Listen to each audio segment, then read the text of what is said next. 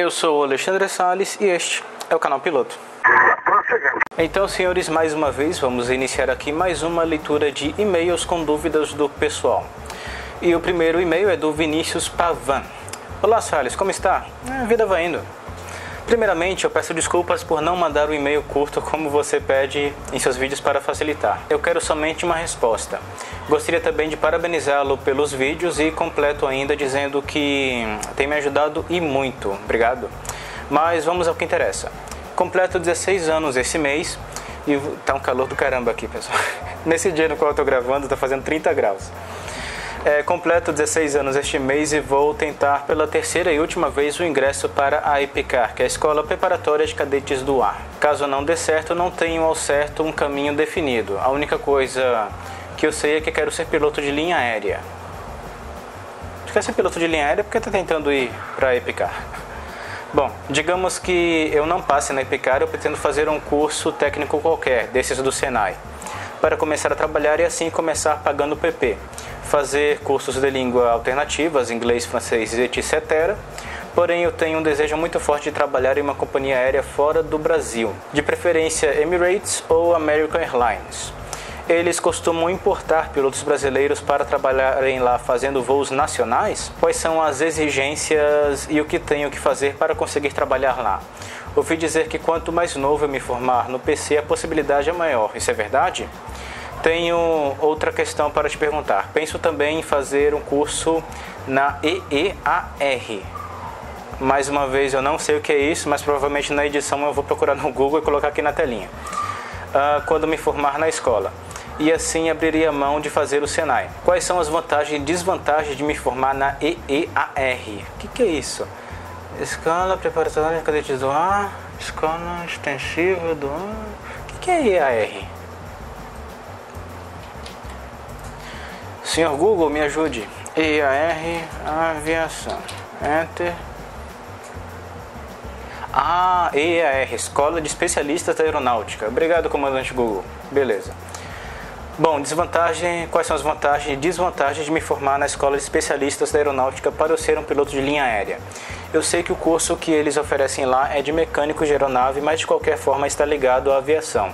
E é uma boa porta para alcançar o meu sonho, ser um PLA internacional. No meu caso, o que você faria? Continuaria focado para tentar entrar na EPICAR? Faria o curso do Senai e os cursos de língua alternativas? Faria os cursos de língua alternativas e focava para ingressar na Escola de Especialistas da Aeronáutica e saindo de lá trabalhando já no mercado da aviação como um caminho mais fácil para ser piloto? E bom, essas são as alternativas que ele dá. Novamente peço desculpas pelo tamanho da pergunta, porém precisava me expressar. Obrigado atenciosamente, Vinícius Pavan. Bom, vamos lá, ele colocou bastante perguntas aqui, vamos responder na ordem. Bom, a primeira coisa que me chamou a atenção aqui foi que ele está tentando entrar para a escola preparatória de cadetes do ar, que é meio que o caminho, meio que o caminho não, que é o caminho para você entrar para a Força Aérea, Academia de Força Aérea e tudo mais. Só que ele citou aqui que o objetivo final dele é ser piloto de linha aérea e não piloto militar. Então, primeira coisa, Vinícius Pavão, eu vou indicar você para ler um texto sobre isso de autoria do Raul Marinho, que ele publicou no canal Piloto um tempo atrás. Eu vou deixar aí na descrição do vídeo, recomendo que você leia. Então, a segunda coisa que ele aborda aqui é sobre como funciona a contratação de pilotos brasileiros para trabalhar nas linhas aéreas internacionais. Cara, você está exigindo um pouquinho demais de um piloto privado como eu. Pessoal, apesar de eu estar aqui disposto a responder dúvidas sobre o pessoal, eu sou apenas um piloto privado. Realmente sobre esse conhecimento de mercado de trabalho internacional baseado em pilotos aqui brasileiros, sobre isso eu não vou poder te ajudar, é, Vinícius Pavan. Mas é até mais uma dica de conteúdo, de futuro conteúdo para o canal Piloto. Bom, outra coisa que ele aborda aqui é sobre os cursos do Senai, que são cursos técnicos, e também cursos de línguas alternativas. Sobre as línguas alternativas, isso é totalmente recomendado porque você não vai pegar somente o conhecimento que vai ser necessário para você tirar o seu certificado do ICAO, como também dependendo do seu nível de estudo e nível de dedicação para esse estudo da língua, você pode até começar a dar aulas em um futuro próximo, aulas de inglês ou francês, como você citou aqui.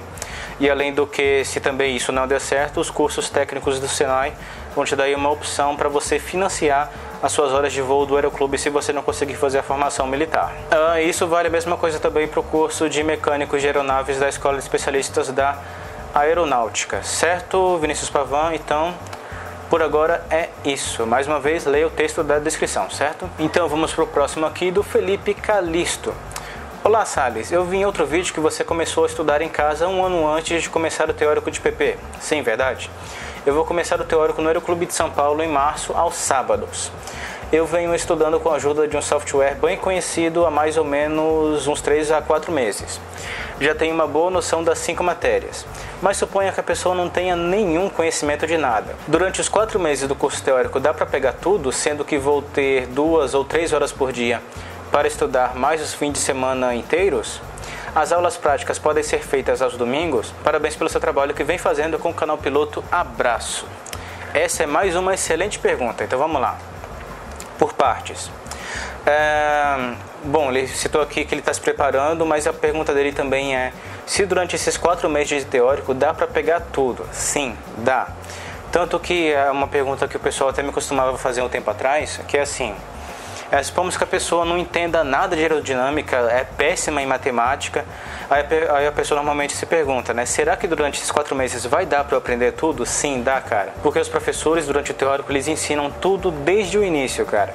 Então, se ele vai usar bastante matemática ali, ou nas aulas de navegação, ou nas fórmulas de teoria de voo, ele vai ensinar toda a matemática básica antes de passar para a matemática que vocês vão utilizar ali no curso teórico, certo?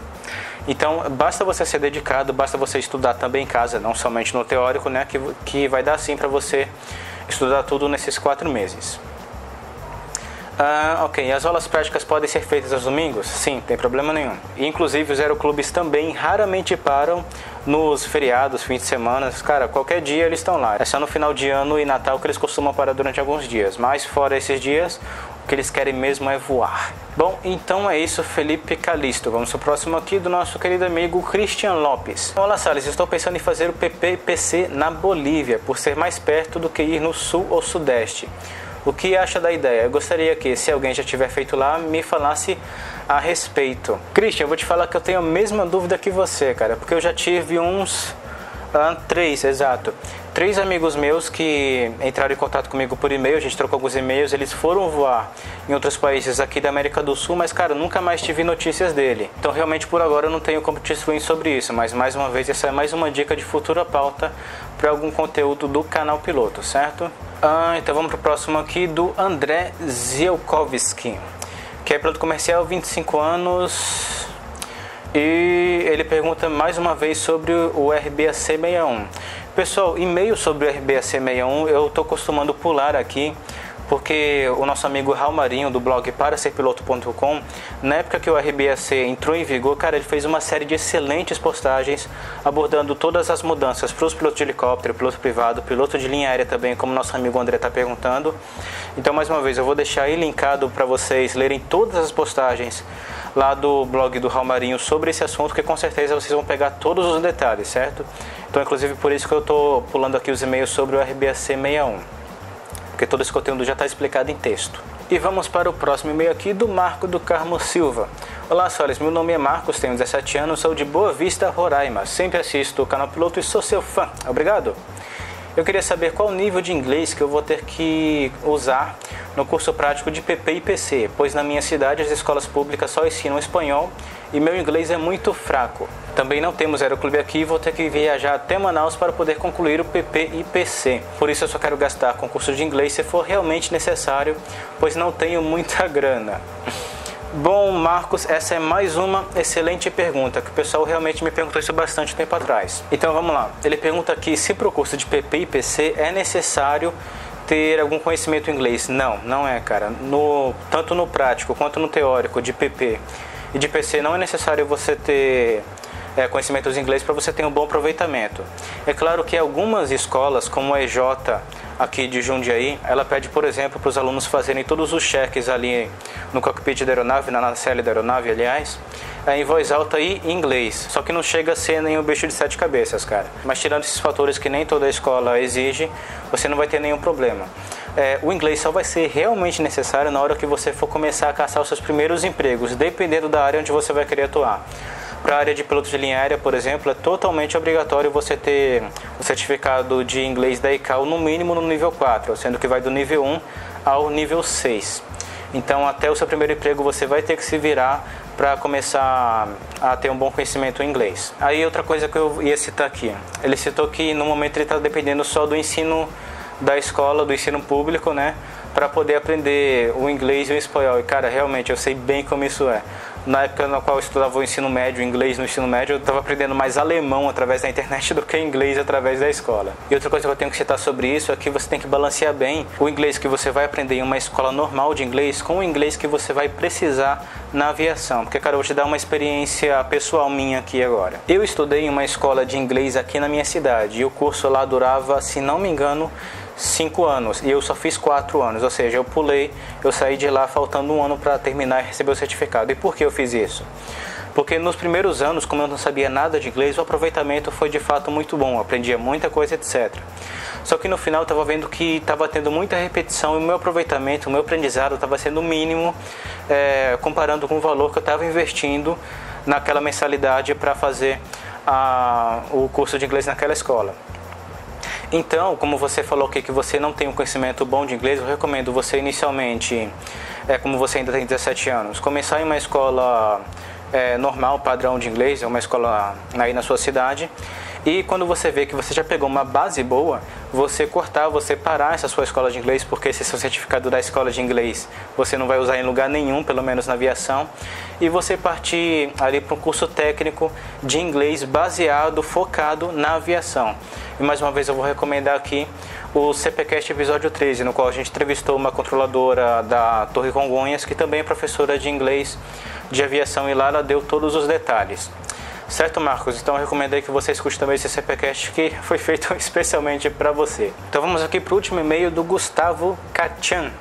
Olá, senhores. Me chamo Gustavo, tenho 15 anos e sonho ser aviador, porém possuo asma. Gostaria de saber se tenho chance de ser aprovado no CMA. Desde já, muito obrigado. Cara, eu não vou poder te dar uma resposta direta, pois depende aqui do seu grau e das suas complicações dessa sua asma. Porque assim, é, quando você vai fazer o seu certificado médico aeronáutico, que é o documento necessário para você iniciar o seu curso prático, os médicos do CMA vão se basear se você tem algum problema que possa interferir na operação da aeronave e também na operação do voo em si, é, assim se baseando nessa sua saúde.